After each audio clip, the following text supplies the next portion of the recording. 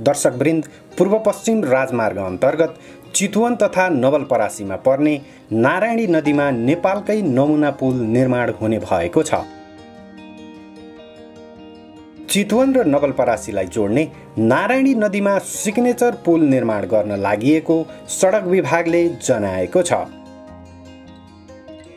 निर्माण हुने पुलको लम्बाइ चार सय मिटर तथा यसको चौडाइ चार लेनको हुने सडक विभागले जानकारी दिएको छ।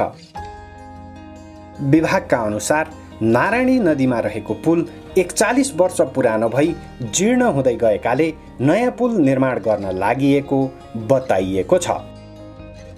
यो कामको लागि ठेक्काको बोलपत्र आह्वान गर्ने तयारी भइरहेको बताइएको छ।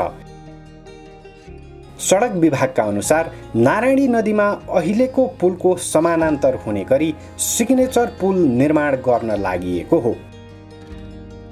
यो काम डिजाइन एन्ड बिल्ड निर्माण प्रणालीको आधारमा बोलपत्र आह्वान गरिने भएको छ। विक्रमसम्म दुई हजार अडतिस सालमा नारायणी नदीमा निर्माण भएको अहिलेको पुलको आयु सत्तरी वर्ष तोकिएको थियो। अब बन्ने पुलको आयु कम्तीमा एक सय वर्ष हुने बताइएको छ।